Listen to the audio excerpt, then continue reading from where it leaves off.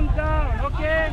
At least 5,000 migrants were rescued in 43 operations across the Mediterranean Sea on Thursday, the Italian Coast Guard reports. The majority were found in rubber dinghies. According to authorities, a body was found aboard one of the vessels. Aid organisation Doctors Without Borders reported that the people aboard some of the boats were in a state of panic. Liberian national Musa Fafani was one of a group of people rescued near the Libyan coast.